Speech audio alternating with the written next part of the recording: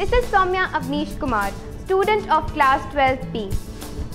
Knowledge is ineffectual unless it is observed and understood by the process of relation between action and reaction.